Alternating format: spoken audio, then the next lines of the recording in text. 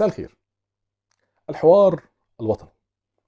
يمكن على هامش إفطار الأسرة المصرية الماضي أطلق الرئيس السيسي دعوة إلى الحوار الوطني ولإعداد ورقة سياسات أو ورقة عمل خاصة بالحوار الوطني. وبدات الدنيا كلها تتكلم لكن أعتقد إن الناس كلها تخطط نقطه مهمة جدا وهي يعني إيه حوار وطني؟ ما هو لازم رجل الشرع العادي يفهم يعني إيه حوار وطني في البداية. يمكن فعلا مفهوم الحوار الوطني فيه لبس شوية واللي بيحدد المفهوم هي الحالات السابقة المرجعية اللي حصل فيها حوار وطني. بسرعة كده الحوارات الوطنية حصلت في أكتر من مكان في العالم. يعني على سبيل المثال مثلا في بداية التسعينات بقوية الثورة الفرنسية في الدول الإفريقية الناطقة بالفرنسية الفرنكفونية حدث حوار وطني هناك كبير جدا لأن كان في فجوة اجتماعية واضحة جدا ما بين المواطنين الشعب والنخبة الحاكمة. وده بيتعارض طبعا مع مبادئ الثورة الفرنسية على رأسها إيجاليتي المساواة مثلا. حصل حوار وطني برضه في بعض الدول زي ليبيا زي سوريا زي العراق وده كان لإعلاء السيادة الوطنية أو الحد من التدخلات العسكرية والأمنية. اجتمعوا علشان يعني يتم إعلاء السيادة الوطنية. حدثت برضه حوارات وطنية في الدول بتاعة أوروبا الشرقية وألمانيا الشرقية مثلا بعد الانهيار بعد انهيار الاتحاد السوفيتي والانفصال عن الاتحاد السوفيتي لإدارة الاضطرابات السياسية اللي حدثت هناك. حدثت حوارات وطنية في بعض دول الربيع العربي متعلقة بالدستور وصياغة الدستور على رأسهم مصر مثلا وحقق هذا الحوار الوطني في الدول دي نجاحات بشكل مختلف يعني متفاوت. إذا الحوار الوطني هو مبادرة لإجراء يعني تغيير حقيقي سواء على المستوى السياسي أو الاجتماعي أو الهدف اللي هو مطلوب منه هذا الحوار.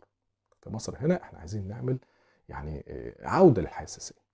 الأحزاب والتيارات السياسيه كلها بقت مشغولة بنفسها وبعيدة تماما عن الشارع وعن مشاكل الشارع فلازم إن هي تتغلغل في هذه المشاكل مرة أخرى وتعي دورها وده المراد من الحوار الوطني الحالي.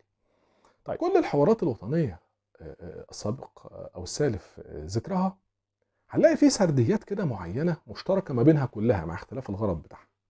وهو المشاركة والشمول. المشاركة والشمول ويمكن ده مضمون رسالة الرئيس. يمكن لو بصينا للشخصيات اللي تم دعوتها إلى هذا الحوار هنلاقي فعلا إن الرسالة واضحة. الشمول والمشاركة. كل التيارات السياسية كبير صغير قديم جديد لازم يقعدوا على حاجة اسمها مائدة مستديرة. بلا تمييز. بلا تمييز. كانت كلمة واضحة جدا في رسالة الرئيس. لازم كل يقعد ويشتغل. والحكومة وسيط مهم جدا وهتدي صلاحيات لهذا الحوار عشان التوصيات بتاعته تتنفذ. نقطة برضو مهمة جدا هنلاقي التحضير. التحضير الجيد للحوار الوطني. ده بقى أخطر نقطة. التحضير الجيد للحوار الوطني. ليه؟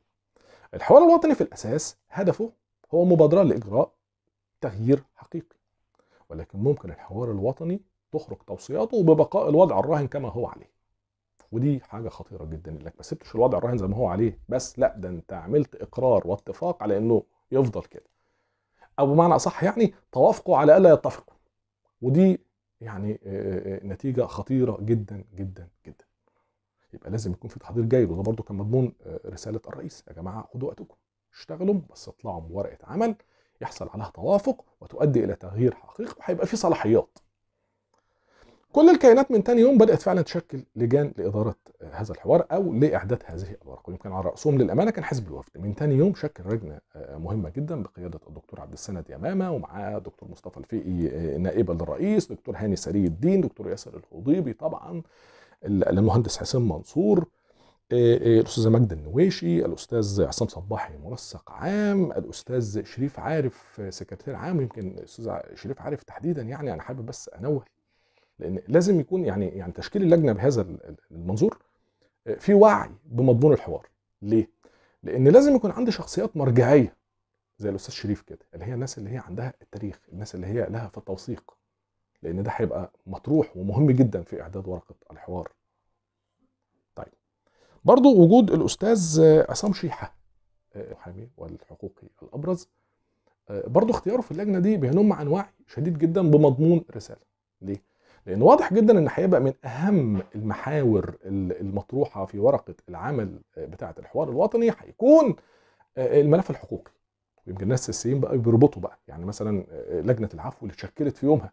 مباشرة واضح إن الملف الحقوقي هيكون ليه دور أو هيكون محور أساسي في ورقة العمل.